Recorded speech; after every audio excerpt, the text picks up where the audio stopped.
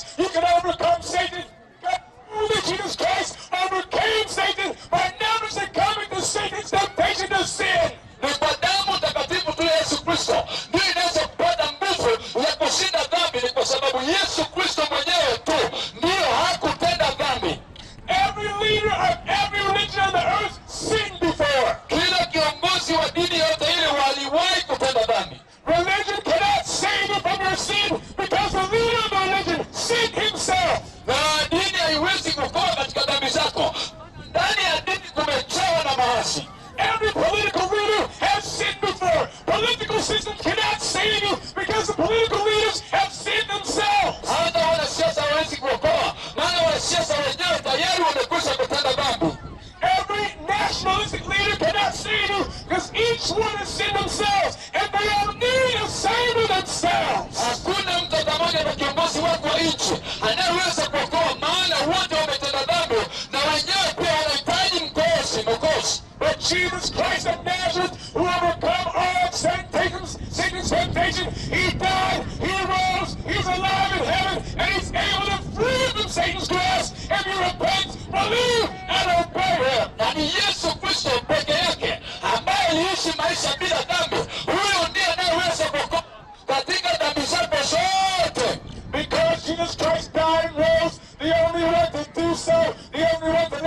To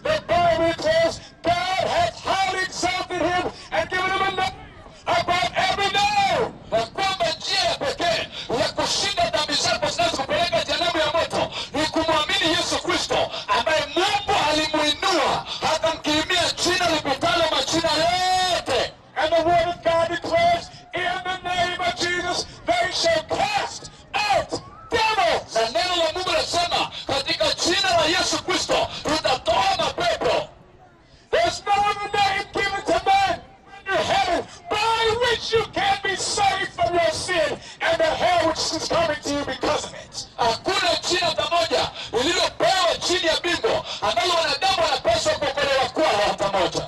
No religious leader has a name that casts out devils. Hakuna kiongozi wa dini ambaye ana jina linalotoa mapepo.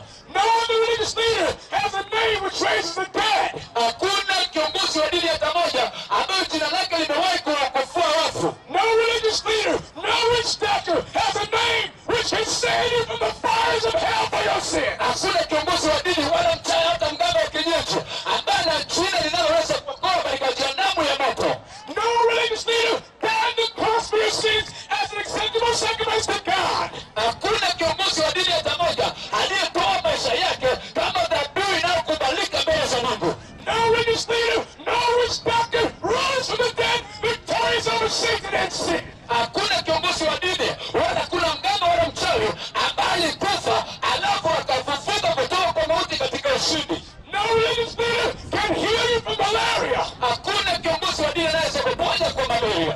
Religious leader can heal you from AIDS. Hakuna kiongozi wa dini anaweza kuponya ukimwi wako. No religious leader can take a tumor and dissolve it before your very eyes. Hakuna kiongozi wa dini ambaye anaweza kuponya na uvimbe uliko ndani ya maisha yako. But the name of Jesus can heal you from malaria. Lakini jina la Yesu linaweza kuponya katika malaria. The name of Jesus can heal you from AIDS. Jina la Yesu linaweza kuponya katika ukimwi.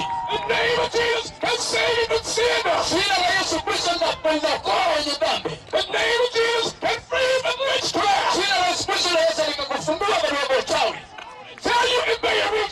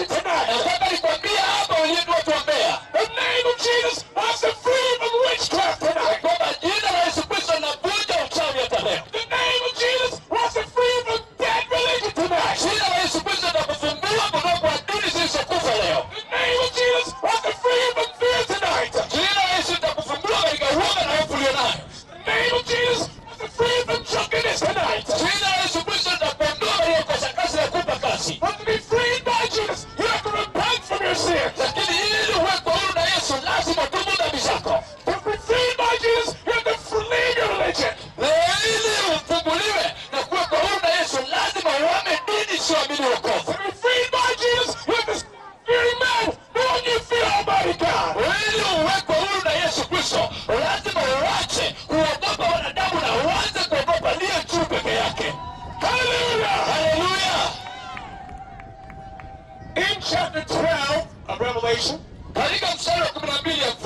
we see some important things we must examine. For you to be set